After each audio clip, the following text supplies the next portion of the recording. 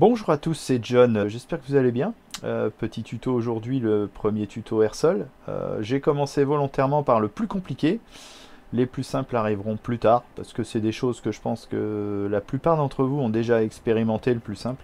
Donc là, je commence par ce qui me paraît le plus compliqué, ça va être de tirer cet armement. Des bombes non guidées, sans conduite de tir. Alors, le but de cette vidéo, ça va pas être de, de comment dire, de, vous montrer euh, que cool, je sais tirer des MK82, je sais viser des entrepôts, etc. Non, non, du tout. Le but, c'est de, vous, comment dire, de vous laisser la main sur l'emploi de cet armement, comment le, préparer, comment le tirer, etc. Euh, même si vous allez voir que finalement, j'arrive à le mettre au but avec une manière, euh, on va dire une méthode quelque peu non empirique. Hein, on va pas se se le cacher. Euh, mais toutefois, j'ai quand même passé un bon moment à tenter de réussir ces passes de tir euh, avec ma méthode. Maintenant, ma méthode n'est pas la méthode, je tiens à le dire, c'est vraiment important à, à, savoir avant de, regarder cette vidéo, c'est que c'est pas parce que je fais cette méthode que c'est absolument comme ça qu'il faut faire. Euh, voilà. D'ailleurs, dans le manuel d'AirGuess, vous avez toutes les valeurs euh, qu'il vous faut euh, pour tirer non pas des MK82, mais si je dis pas de bêtises, c'est les, les SAMP 250, enfin toutes les bombes qui sont là, là, qui sont les bombes qu'utilisaient les Espagnols pour faire du bombardement. Voilà. Mais nous, aujourd'hui, on va s'atteler à utiliser ces bombes-là sur donc des entrepôts. J'ai choisi aussi des entrepôts, alors sur un terrain de jeu comme dit mon ami Dilixo, euh, qui ne vous est pas inconnu. Hein, et euh, je les ai placés comme ceci parce que on pourra voir dans le débrief tag view où vont aller les bombes.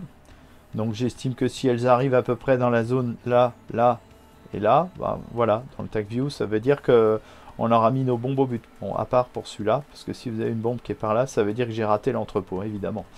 Voilà, voilà. Donc, euh, voilà pour ce qu'il en est. Et on va passer tout de suite au fencing. C'est parti. Préparation de l'avion. Hein. On va pas détailler d'ailleurs ce fencing. Euh, il y a beaucoup de choses communes avec le RR. Euh, on va juste parler en particulier de la préparation de l'armement pour bombarder. Allez. Et probablement d'ailleurs que dans les prochaines vidéos, je ne vais pas en reparler tout le temps parce que c'est la préparation de l'armement air-sol c'est voilà, c'est à peu près commun à tout, toutes les munitions que vous allez tirer. Allez, on y va. Bien, alors pour parler euh, de la préparation de l'armement de l'avion, euh, du fencing, etc., on va y aller par petits pas. On, va commencer par la préparation du vol de l'avion, c'est-à-dire qu'on va essayer de le mettre dans une position euh, quelque peu stable, voilà, comme ceci par exemple. Voilà. Dans une vitesse pas trop élevée, c'est bon. Comme ça, je peux vous expliquer. Bon. On va pas revenir là-dessus. On l'a déjà vu dans le RR. Mais comme d'hab, vous devez lever votre cache et mettre votre interrupteur euh, Master Arm sur arme. je ne sais plus si ça s'appelle comme ça exactement dans le, dans les, binds, mais voilà, ça vous reverrez ça dans la vidéo URR, parce que l'autre chose qui est pareil, c'est le cache que vous avez là sur le manche, ici, hein, à faire relever, sauf si c'est à binder. Les bindings, on va pas trop en reparler, c'est déjà traité dans l'RR, d'accord? Je vous mettrai la vidéo dans les fiches, vous pourrez aller consulter les binds pour, euh, pour préparer l'armement, préparer l'avion. C'est commun au RR, c'est parti si vous voulez, donc euh, c'est pour ça, euh, je reviens pas tellement dessus. Ensuite, euh, la deuxième chose dont on va parler tout de suite, c'est ici, le boîtier de préparation d'armement. D'accord? Donc sur ce boîtier, vous allez euh, tout d'abord sélectionner ce coup par coup si vous voulez tirer les bombes une par une, pas plus. Ensuite, il ne faut pas oublier de mettre l'interrupteur de delay sur euh, soit retardé, donc ici au milieu, soit sur instantané. J'allais dire instantaneous comme c'est écrit, mais en fait ça c'est en anglais. Donc euh, comme on est dans un avion français, nous allons parler en français. Voilà. Donc là, euh, je crois que pour les, entrepôts que je vise, j'avais mis en retardé, ce qui fait que ça, pète pas mal. Hein. Pour des entrepôts, c'est normal. sinon, faites comme à votre habitude. Des véhicules, c'est plutôt en instantané. Ouais, des gros bâtiments, on va mettre peut-être en retardé. Voilà. Euh, ensuite, vous allez sélectionner l'armement que vous voulez tirer. Donc, soit les bombes sous voilure, si c'est sous voilure, soit sous fuselage, si c'est sous fuselage, soit les deux.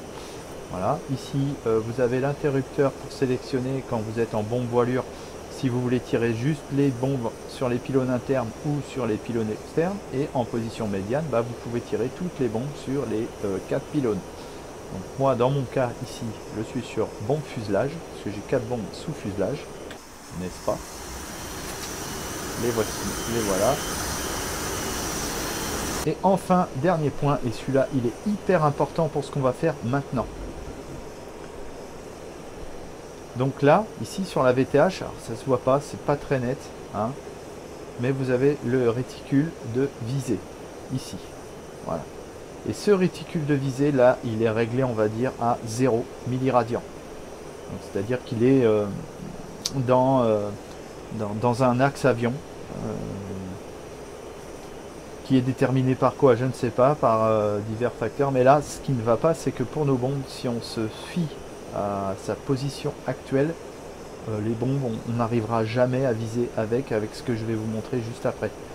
Le manual Gravity Drop Selection Tumbleweed, vous voyez? Donc en gros, ce, truc-là, c'est pour régler votre réticule en fonction de plein de paramètres. Attention faut être très délicat avec ça. Ça va être fonction de votre vitesse, altitude, euh, de, l'altitude à laquelle vous voulez tirer et vitesse aussi. Hein. c'est bien de ça que je parle.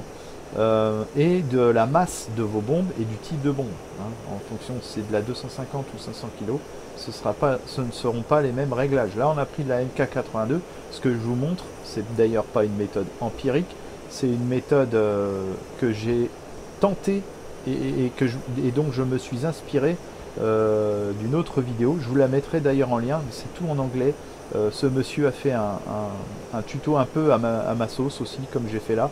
Pas un truc très empirique, mais il a respecté ses points clés, euh, altitude, vitesse, pente. vous verrez qu'il pilote quand même vachement mieux que moi, ça c'est indéniable. Alors après il a peut-être aussi du bon matériel, moi avec le X52 je fais ce que je peux. Mais sa méthode elle fonctionne très bien, donc je me suis complètement inspiré de ça, j'ai pas réinventé la poudre, ça sert à rien. Mais en tout cas, voilà. Vous avez le petit rotacteur ici à régler. Je l'ai réglé sur moins 100 et qu'est-ce qui se passe quand on le règle sur moins 100 Eh ben il se met ici, voilà, sur euh, en dessous euh, de votre petit avion, voilà, pour pouvoir viser avec vos bombes. C'est essentiel de faire ça. Ça c'est euh, limite, c'est presque plus important que de faire le reste, parce qu'au pire le reste vous ne l'avez pas fait, c'est pas grave, vos bombes vont pas partir. Si vous avez oublié de mettre le master arm, tout ça, euh, ou alors, allez, après un peu plus grave, vous tirez une bombe mais en inerte, ouais, c'est gênant. Alors que ça, si vous le faites pas, vous allez tirer vos bombes, vous allez vous fier à votre réticule, et ben elles vont partir à côté. C'est pas dommage. Voilà. Allez, c'est parti, on vous démontre ça en vol.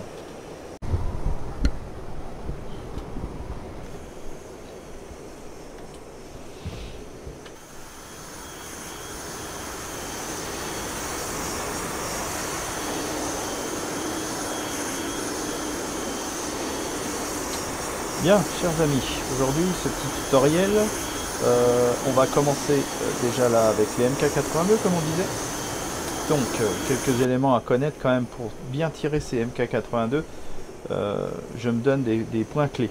Ces points clés, pour bien démarrer mon tir, ça va être aux alentours des 10 000 pieds et aux alentours des 300 nœuds à cette altitude pour démarrer ma passe de tir. Donc voilà, là je vous commente des passes sur lesquelles je me suis entraîné. On va faire un premier virage pour retourner vers les entrepôts. Alors je me suis volontairement entraîné sur des entrepôts parce que ce sont quand même de, euh, de, comment dire, euh, de gros objets, faciles à voir, faciles à viser. Euh, je suis pas doué moi dans ces genres de, de tirs, je ne connaissais pas. Euh, donc comme c'est une méthode bien particulière, j'ai volontairement choisi des gros objets euh, pour pouvoir euh, bah voilà, déjà les voir de loin, commencer à vous montrer comment fonctionne le largage de ces munitions. sinon ça sert à rien. Donc là vous voyez je suis aux alentours des 10 000 pieds. et aux alentours des 300 nœuds hein, à peu près. De toute façon après je vais vous montrer sur TagView ce que ça donne, même si on verra pas les cibles. Et d'ailleurs les cibles vous pouvez voir je les ai volontairement placées aux quatre coins des pistes là, de la base de Cobuletti pour pouvoir euh, après sur TagView voir où vont les bombes. Donc là on y va sur le premier hangar. Donc on descend en plein réduit, on arrive déjà à 400 nœuds. On essaie d'avoir une assiette stable, alors c'est très compliqué, et aussi être stable en roulis, lacé, etc. En, en tout cas, garder les moins 20 degrés de pente, et vers les 2000 pieds, voilà, je tire ma bombe. Ensuite, on redresse, il ne faut pas descendre trop bas. Et là, si tout va bien, normalement, on verra pas là. Tout va bien, on n'a pas tiré.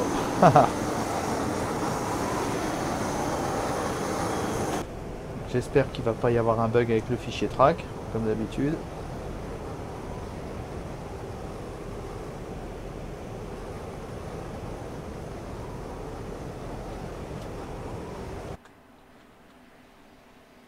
On va accélérer, on verra bien. Hein. Donc on reprend sur la deuxième euh, séquence de tir, où là justement, vous voyez, j'essaye de réduire ma vitesse en tirant un peu sur le manche.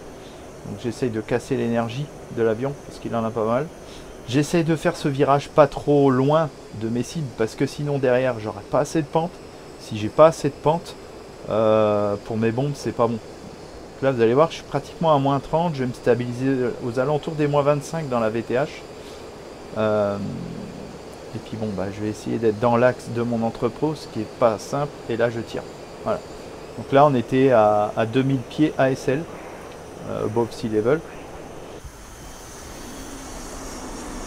Et on a mis au but, vous voyez?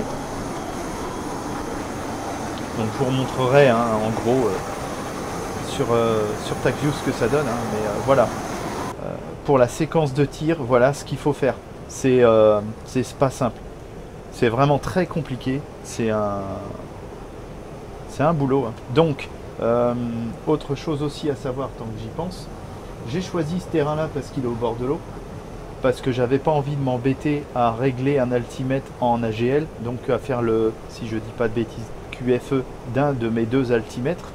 Euh, mais si vous voulez bombarder un terrain qui est un petit peu au-dessus de la mer, genre il est à 2000 pieds au-dessus de la mer, bah vous devez connaître le QFE de ce terrain avant de procéder euh, au bombardement. Donc vous devez le régler, je sais pas moi, je dis c'est un ordre d'idée, hein, c'est un ordre de grandeur. Euh, un terrain qui va être à 2000 pieds, votre altimètre principal, il va falloir le régler à 880 hectopascal peut-être. Parce qu'avec l'autre, avec celui de secours, celui qui est au-dessus de l'horizon secours, vous ne pourrez pas le, le régler en dessous de... J'avais fait la manip une fois euh, pour avoir le, QFE d'un terrain qui est en altitude pour me poser. Euh, d'une certaine valeur, ça doit être aux alentours des 780 euh, millibars, pardon, je vous ai dit hectopascal, ce qui en soi est pareil en fait. Donc forcément, ça va pas marcher, vous comprenez? Voilà, voilà les amis. Donc là, euh, c'est même pattern à peu près, hein, entre moins 20, moins 30 degrés. Je démarre toujours à 10 000 pieds 300 nœuds, c'est mon point clé d'entrée. Et après, j'essaie d'être aux alentours des 450 nœuds si je peux en bas. Bon là, je crois que c'était un tir rapide que j'ai raté, hein, pour vous montrer un peu la difficulté. en plus, je l'ai fait super bas.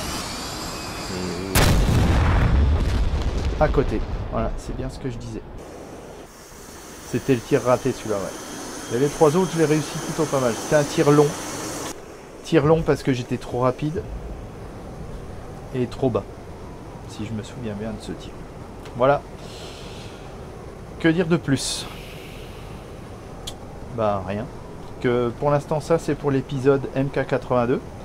Euh, il y aura d'autres épisodes à venir. J'ai décidé de le faire en plusieurs épisodes parce que c'est assez complexe à aborder ça la MK82. Vous avez vu dans le manuel de vol, il y a des tables. Euh, pour les bombes espagnoles à les 100.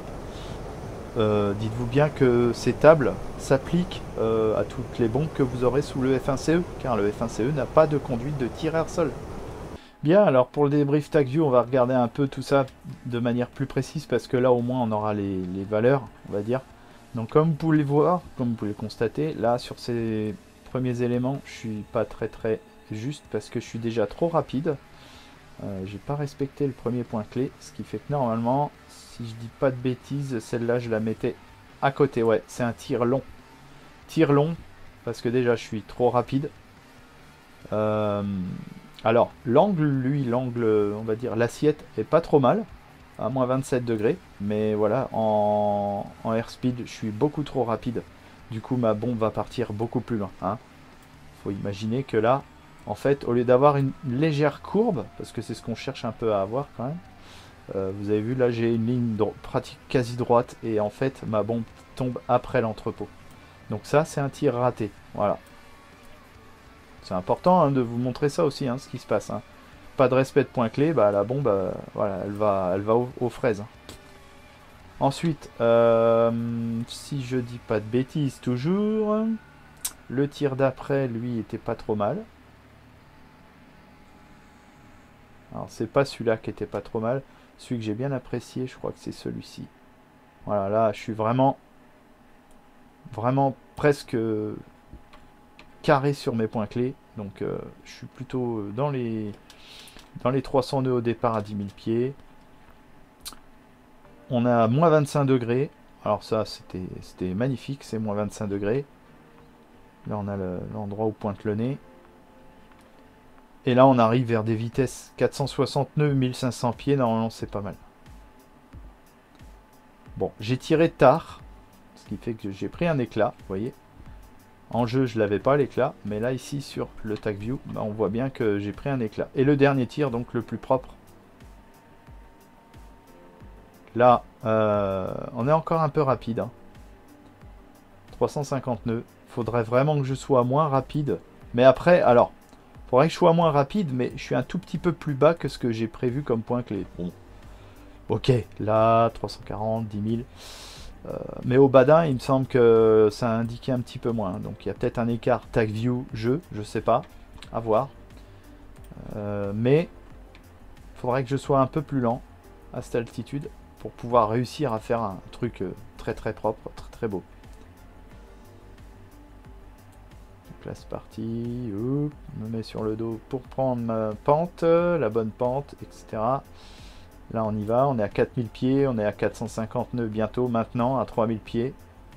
Moins 25 degrés, ça bouge pas. J'essaie de rester stable, hein, parce que si vous donnez des coups de manche, bah là c'est pas bon. Et là, pouf, ça va dessus. Voilà, cette bombe, elle était allée euh, complètement dessus. En plein milieu euh, du... Si je la remets, hein, on va remettre un peu plus lent, s'il te plaît.